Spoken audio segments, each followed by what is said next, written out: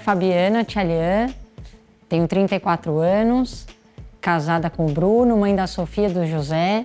Me formei em economia na Exalc em 2011 e hoje sou cofundadora da Água na Caixa.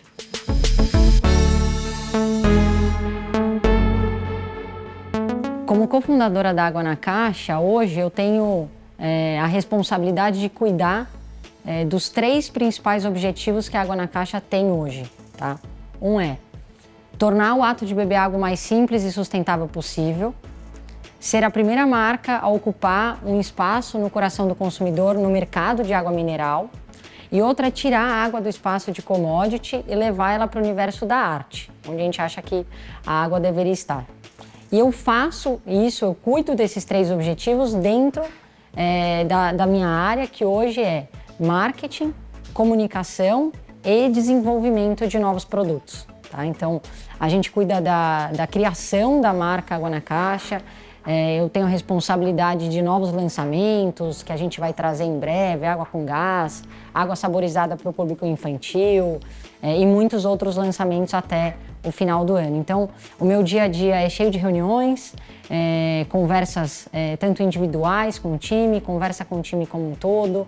A gente pensa no futuro da, da água na caixa, para o final do ano, o que, que, a gente vai fazer no Natal, o que, que, a gente vai fazer no Réveillon e também coisas que surgem, oportunidades que surgem para o final de semana. Então, tem muito esse mix de é, problemas, oportunidades, desafios que surgem a curto, médio e longo prazo.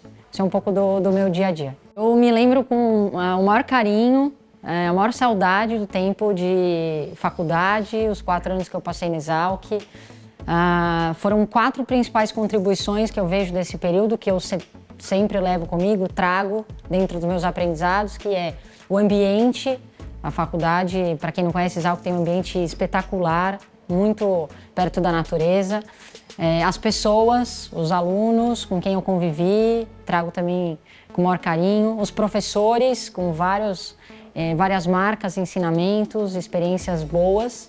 E o tempo que eu pude viver em República lá é, também foi inesquecível. Eu morei na República Quartel durante quatro anos, é, sempre convivendo com pelo menos 10, 11, 12 mulheres juntas.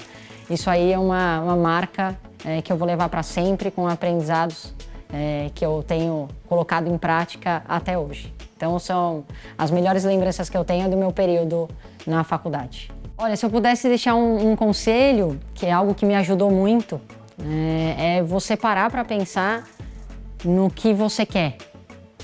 Aquilo que. Você falar assim: o que, que eu quero? Onde eu quero estar daqui 5, 10, 15 anos? Qual é o meu objetivo? E você se perguntar isso a cada dia e principalmente você ser é, fiel a isso. Ou seja, tudo que você for fazer, todas as escolhas que você tiver é, que decidir, você usar isso como norte. Ou seja, o que é que eu quero?